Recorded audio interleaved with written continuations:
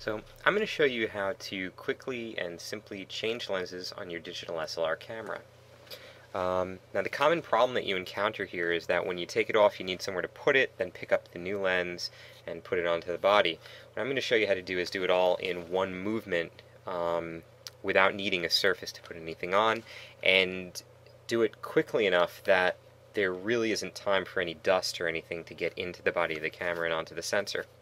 So here's how you do it. Oh, uh, I'm using a Rebel XT here, but this should work on most, and uh, most digital SLRs, that is.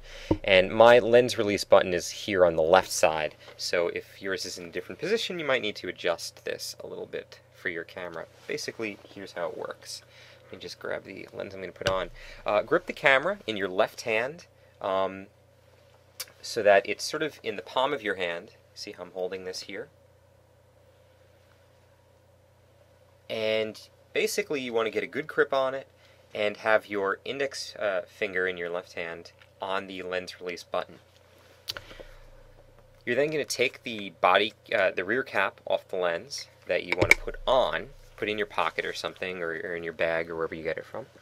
And I'm just going to stand up to show you this. You take it in your right hand and hold it with your uh, thumb, index finger, and middle finger. Now it's probably easiest if you line your thumb up with the little um, indicator dot. Now, in this case, it's a red dot, which means this is an EF lens. If it was a white square, that would mean it's an EFS lens, but it's essentially the same thing either way. Just make sure that that's pointing up, and, and you shouldn't have much trouble. Um, so grab that in your right hand, as I mentioned, and you're going to take the body or, or the tip of the lens that's on the camera and place it into the palm of your right hand like this. And grip around it with your pinky and ring finger and the back of your, your palm. So now you can actually hold the lens, the camera by the tip of the lens, and now you don't want to do that necessarily, but um, you know that that's basically the type of grip that you should have on it. So what you're going to do is hold it them perpendicular to each other, as you can see, and make sure that indicator dot is pointing up. Press the lens release button with your left index finger. Rotate the body of the camera and just place the new lens in. I'm just going to do that again. You see this is an EFS lens, the white square. Just going to point that up. Um, rotate them, and there you go.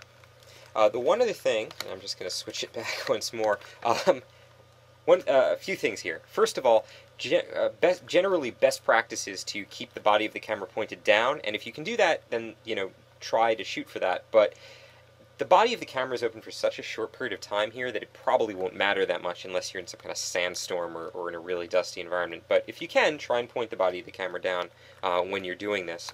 So if you do it like that, uh, the problem with pointing it down is that in this case, the uh, the flash area here actually blocks me from seeing the indicator dot and lining it up properly. So it's probably easier to point it up, but you really want to try and avoid doing that if you can. Um, also, uh, practice this over your bed or over your carpet or something, so that if you drop your lens, um, you don't blame me for uh, destroying your thousand dollar, however much uh, these things cost. Um, one other thing is uh, there's a potential problem if you're going from a really large lens like this 70 to 300, which has a you know a 62 millimeter diameter, and if you're going if you're going from that to a really short lens like this 50 1.8. Uh, and the problem is that if the length of this lens is shorter than the diameter of the lens you're going with, then gripping it like this doesn't really work because you can see, and even if you, you stick it out like that, you have a weaker grip on the whole thing, um, which isn't good.